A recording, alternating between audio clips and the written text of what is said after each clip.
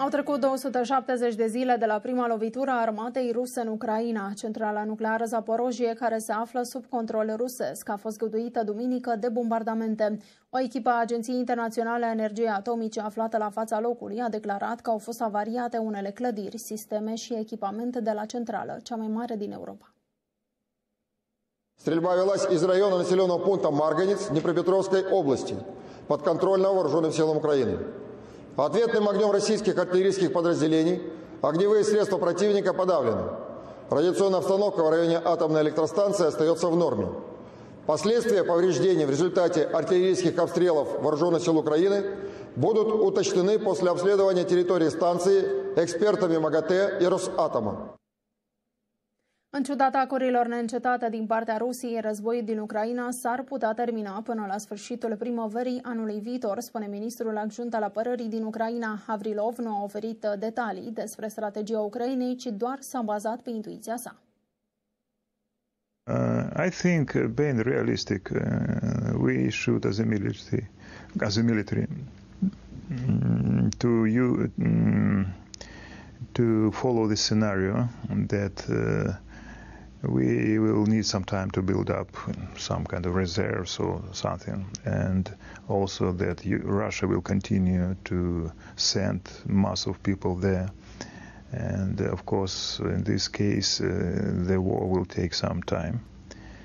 But my feeling is that by the end of the spring, this war will over. Will over. Noaptea trecută, Rusia a bombardat o zonă rezidențială din uh, Nicopol, uh, din regiunea din Dnipro-Peskov. În urma atacului, un bărbat în vârstă de 59 de ani a fost rănit.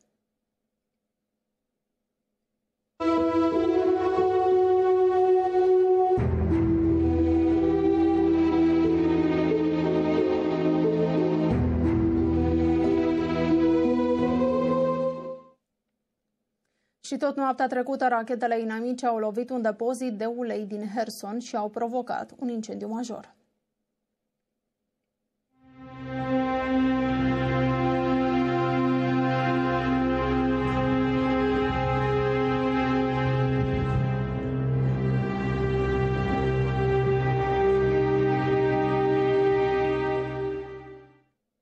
Crimea își șomagează militarii pierduți în luptă. Localnicii au plantat 71 de copaci în Parcul Victoriei din Sevastopol, în memoria soldaților locali.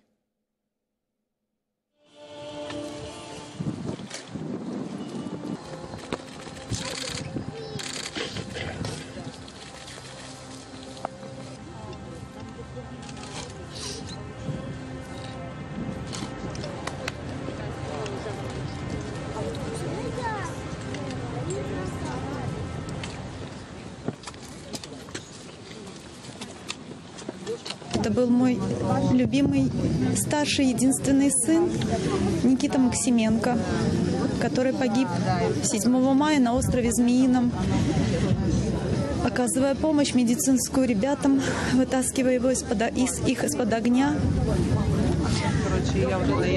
Я хочу посадить дерево, чтобы оно росло, чтобы приходить и видеть, как оно растет.